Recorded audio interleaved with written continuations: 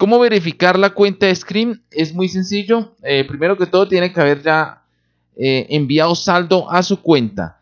Eh, se puede enviar por medio de Bitcoin y también hay otras formas de enviar saldo. Si yo le doy aquí donde dice depósito, te van a aparecer distintas opciones pues para enviar el saldo. Puede ser Neteller.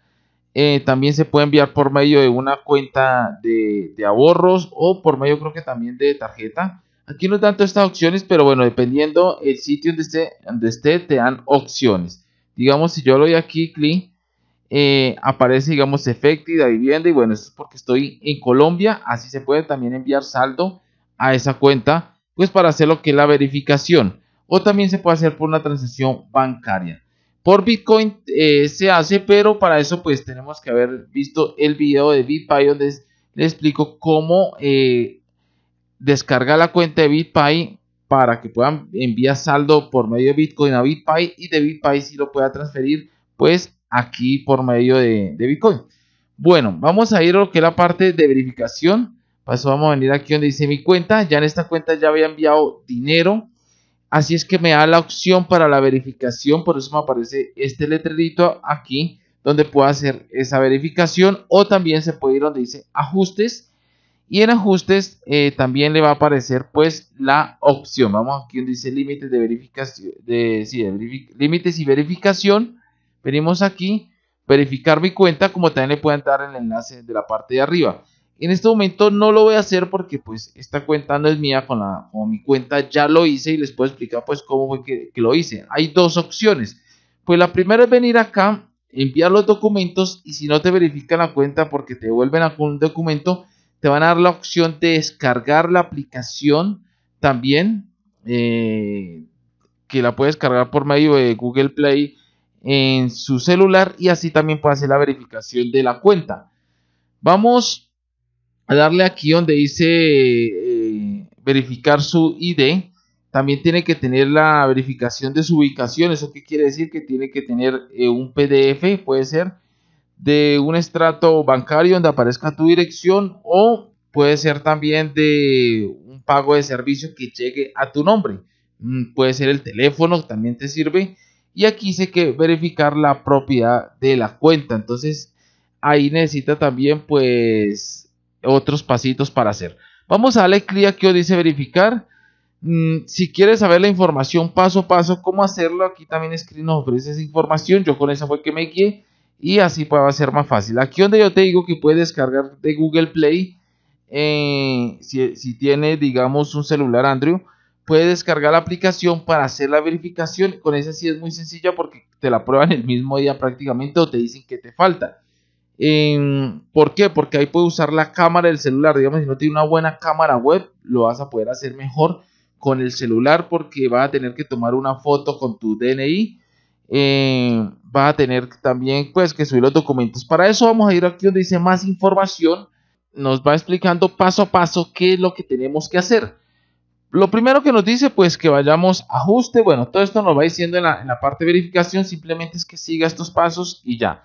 Te va a decir que tienes que subir el alverso de, tu licencia de conducir o eh, también puede hacer la cédula o puede ser el DNI pero también hay que tomarse una selfie. Entonces, todos estos pasitos nos lo van explicando, una selfie con el DNI o con la cédula o con el documento de identidad. Eso nos lo van diciendo aquí. Eh, digamos, este es el paso donde nosotros estamos, que es, es este. Y, ahí pues nos van dando las imágenes de qué es lo que hay que hacer. Nos dice también que podemos descargar el de Google Play, que también es la aplicación del celular, que es lo que les explicaba. Eh, cuando ya van a subir, digamos, eh, a, subir lo que es la foto, ¿sí? Del documento, que ya ahorita vamos allá y les explico cómo se hace. Eh, pues vamos de una vez, este paso, aquí nos dan esta opción, si yo le viera, le doy aquí donde dice verificar ahora, nos va a aparecer eh, de este modo, hay veces demora un poquito en cargar, para eso de tener pues la web conectada y nos dice que, que, quiere subir, ¿sí?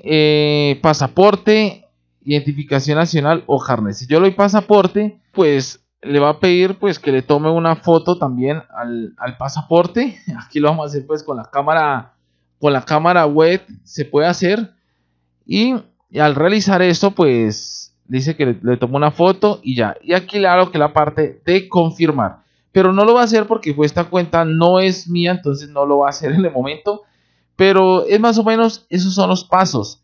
Eh, después de eso, que ya haga la confirmación, aquí ya le dice pues qué hacer. También le va diciendo pues paso a paso todo lo que hay que hacer acá.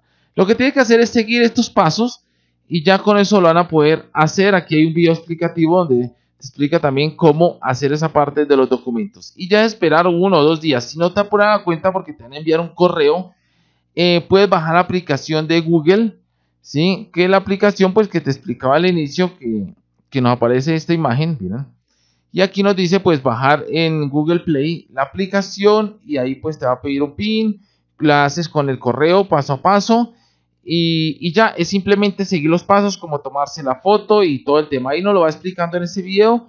Y ya, una vez tenga eso, ya puedes pues, verificar tu cuenta y subir pues tu saldo. Ya puedes eh, retirar más de dos mil dólares si quiere, más de 500 dólares. Los saldos que sí se envían a Screen son más o menos de 620, 623 dólares, un poquito más.